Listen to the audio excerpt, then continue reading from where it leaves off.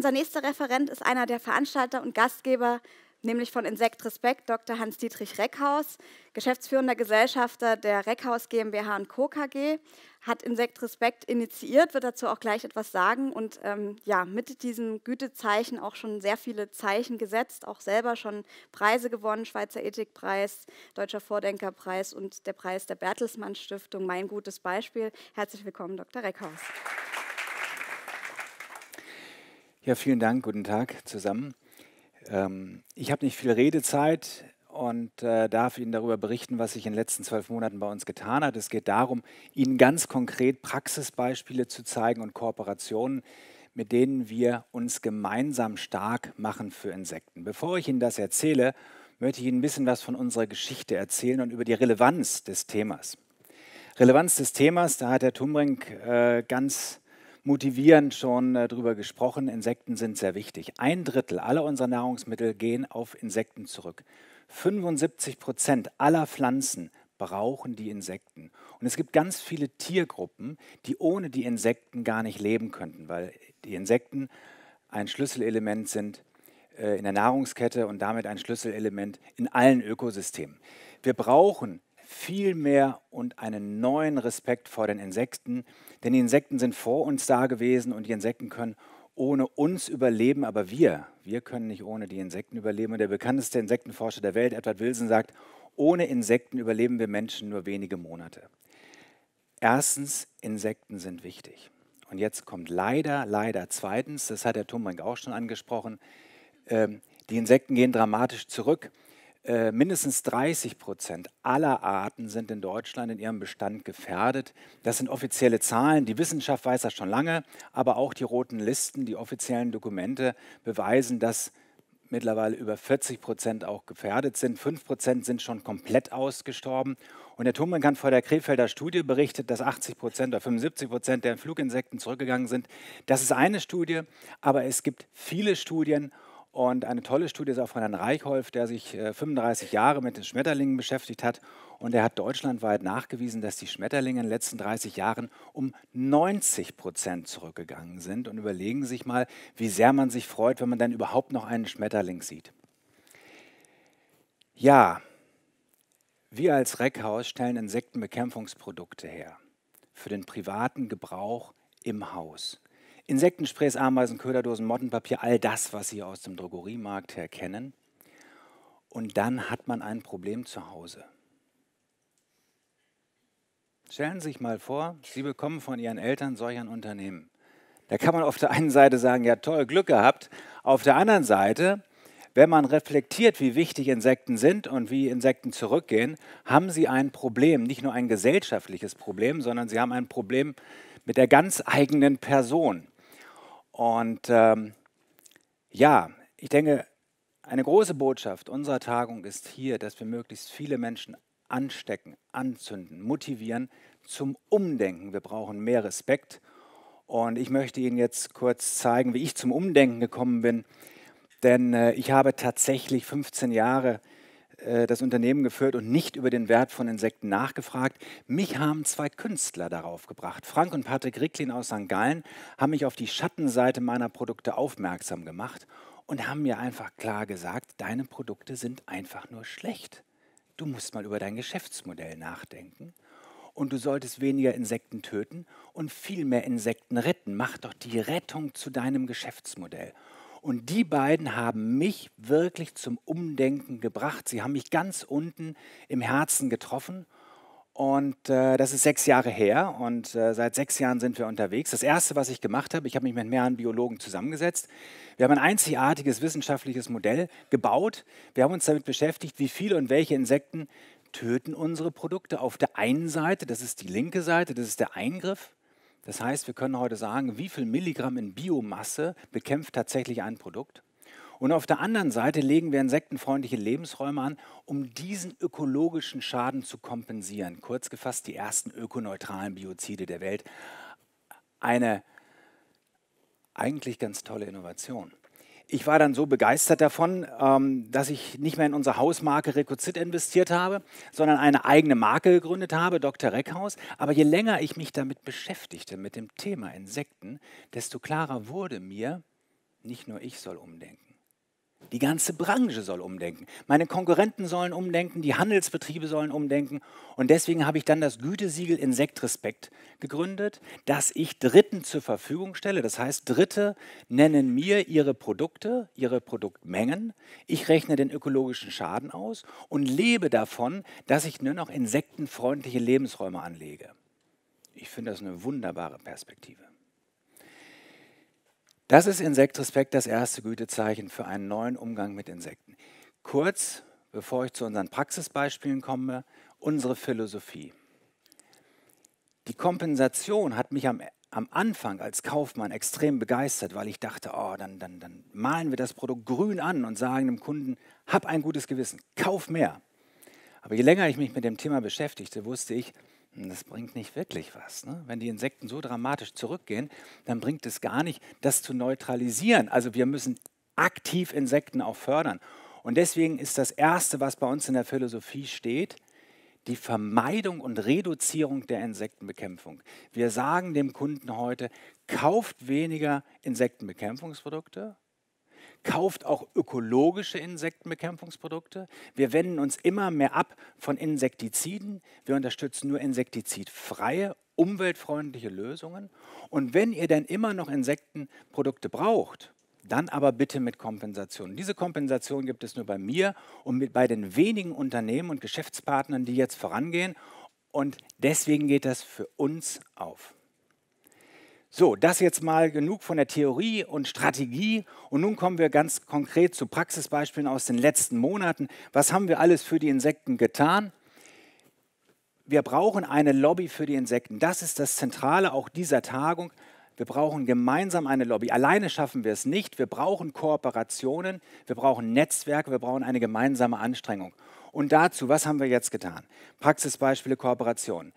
Äh, Im November, gerade hier auch in diesem Raum, in diesem Hotel, haben wir mit der Bertelsmann Stiftung als Kooperationspartner die Tagung Wert von Insekten äh, realisiert. Eine wunderbare Sache mit Klaus Töpfern und Herrn Tumbrink und vielen namhaften Referenten. Wir haben eine tolle äh, Konferenzdokumentation gemacht, die wir auch dieses Mal, mal äh, machen. Ich lade Sie sehr ein, nach der Tagung auf unsere Internetseite insektrespekt.org zu gehen. Dort finden Sie diese ganzen Unterlagen.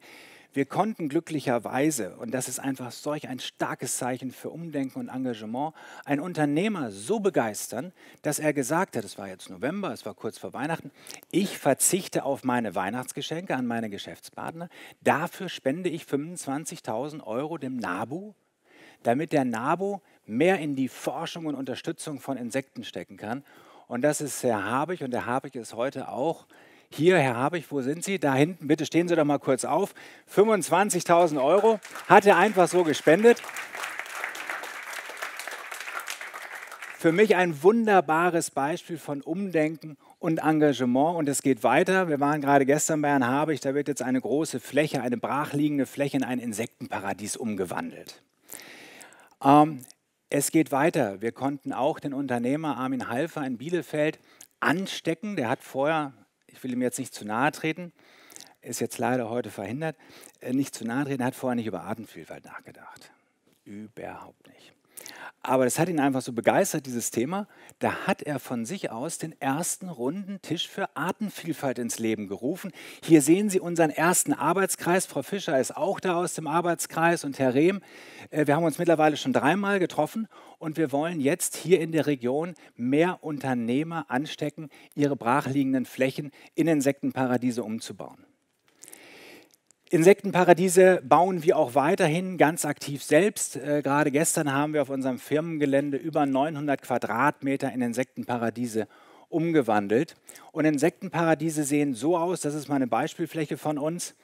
Äh, wir haben immer zahlreiche Pflanzen, Pflanzen, die lange blühen und lange vielen verschiedenen Insekten Insekten eine Blütennahrung anbieten. Wir haben Anhügelungen, wir haben Steinhaufen, wir haben Totholzhaufen. Diese Totholzhaufen, die sehen immer so harmlos aus. Bei uns ist überhaupt nichts harmlos. Wenn Sie da oben so neun Stämme sehen, da oben rechts, dann sind das neun unterschiedliche Holzarten und neun unterschiedliche Altersstufen von fünf Monaten bis fünf Jahre oder zehn Jahre.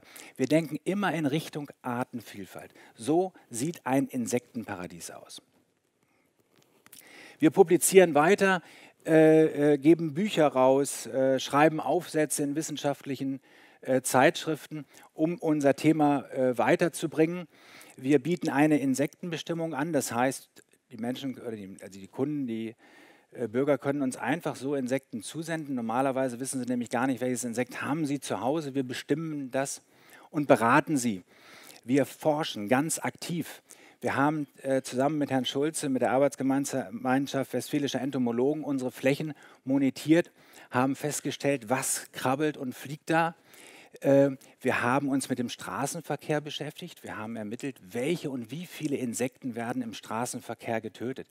Auch das sind ja Felder, wo wir Insekten bekämpfen und wo wir neue Lösungen brauchen. Dann haben wir ein modulales Ausstellungskonzept gebaut das bereits auch dreimal ausgestellt worden ist, über den Wert und die Bedrohung von Insekten. Ich lade Sie ganz herzlich ein, kontaktieren Sie uns. Diese Ausstellung können wir groß machen, die können wir klein machen. Wir stellen Ihnen diese zur Verfügung. Wir haben ganz tolle Feedbacks zu diesem äh, Konzept, zu diesem Modul. Wir arbeiten intensiv mit den Medien. Wir brauchen die Medien. Wir müssen in die Gesellschaft kommen. Wir müssen möglichst viele anstecken zum Umdenken, um eben mit den Insekten anders umzugehen. Und wir haben in den letzten äh, vier Jahren über 500 Medienartikel gehabt in, in Zeitung, Radio und Fernsehen. Das heißt, wir können wirklich etwas bewegen.